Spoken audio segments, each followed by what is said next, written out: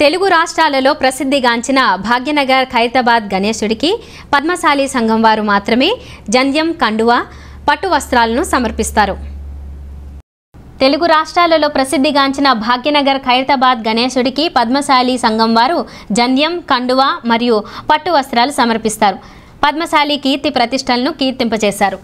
ముత్యాభిషేకం చేయనున్నాము. గత కొన్ని సంవత్సరాలుగా మా పద్మశాలి సంఘం ఇది ఆచారంగా సాంప్రదాయంగా కొనసాగుతుంది. అందులో భాగంగా ఈ సంవత్సరం కూడా పద్దెనిమిది అడుగుల కండువ పద్దెనిమిది అడుగుల జంధ్యం పద్దెనిమిది అడుగుల గరికమాలతో పాటు పట్టు వస్త్రాలు. వినాయక చవితి రోజు ఉదయం ఏడు గంటలకి కొంతమంది సభ్యులం అందరము ముఖ్య అతిథులతో వెళ్ళి ఈ ఖైరతాబాద్ గణేష్కి పట్టు వస్త్రాలు కండువ జంధ్యం సమర్పించనున్నాము. ఉండటం వల్ల మాకు చాలా సంతోషకరంగా ఉన్నది. మా మాకు మంచిగా అనిపిస్తున్నది గత కొన్ని సంవత్సరాల నుంచి. అది కంటిన్యూషన్ చేస్తున్నాం ఈ సంవత్సరం కూడా.